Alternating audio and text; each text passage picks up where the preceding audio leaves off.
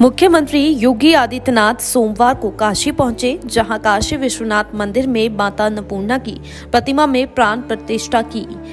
आपको बता दें, प्रतिमा के साथ ही उन अन्य पाँच विग्रहों की भी प्राण प्रतिष्ठा की गई, जिन्हें काशी विश्वनाथ मंदिर में विस्तारीकरण के तहत निर्माण कारणों से हटाकर सुरक्षित रख दिया गया था। मुख्यमंत्री योगी आदित्यनाथ की मौजूदगी में प्राण प्रतिष्ठा अनुष्ठान पूरा हुआ।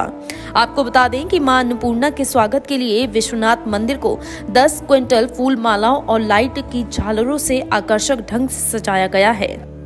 एक दिन पहले रविवार को पूरे दिन सजावट का काम चलता रहा। माँ अन्नपूर्णा की पालकी भी सजाने में कोई और कसर नहीं छोड़ी गई और कई माली जुटे रहे। माँ अन्नपूर्णा के आगमन पर मंदिर परिसर, वेद मंत्रों, डमरू और शंख ध्वनि से गूंज उठा।